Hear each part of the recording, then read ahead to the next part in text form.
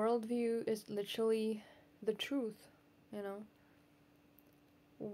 And um, there's only one truth, and it's a fact. There can be different truths.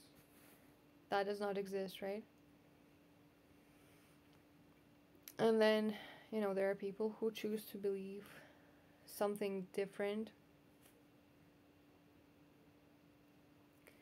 which is a choice. Um, but don't be deceived by the devil because, you know, this world is fallen and you need to be born again. You need to accept Jesus um, to be saved because so many people are possessed by demons. They're cap- captivated, right?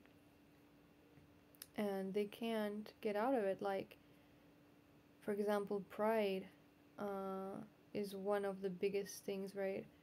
So people literally, I mean, so many people around, like literally my neighbor that's making noise. He just made some noise like some time ago.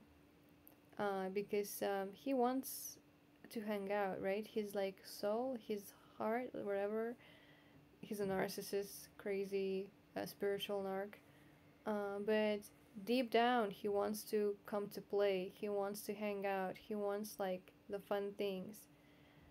But the pride is like, no, you know. Um, I can't let her think that I want like, I can't uh, let her think that she's strong, she's right, and I was wrong, or I'm weak, or I did something wrong, like admitting a mistake. Like, that's horrible, you know? They, they can't do that. And just because of that, they deny themselves of amazing, fun things they could do and have. Isn't that stupid?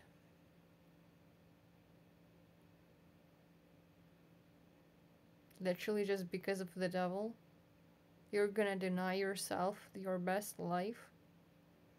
Really? And to me, that honestly just looks like, you know, someone in like brain paralysis or something. Because you have a person functioning, but they just can't do the real things. They have to act in the most, like, yeah, degenerate way. Like, um, they have to act like a zombie, like a freaking, I don't know, whatever monster from some movie. Because it's a demon. Demon uh, is using that person demon is making him do that. He thinks it's his own like feelings or thoughts or whatever, but no, it's it's all from the devil. Uh, it's not from God.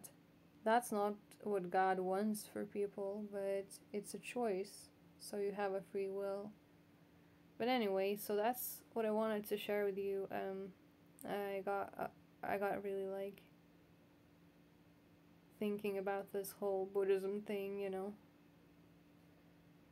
Um, and just was trying to understand why I had that weird memory from my childhood. Um,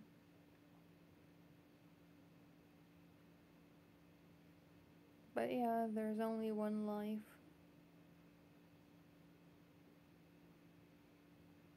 So.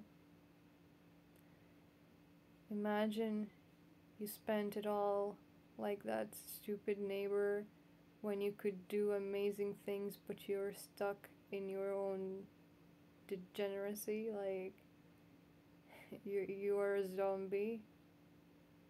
Man and if you've done something really bad or you may be facing something horrible like hell like really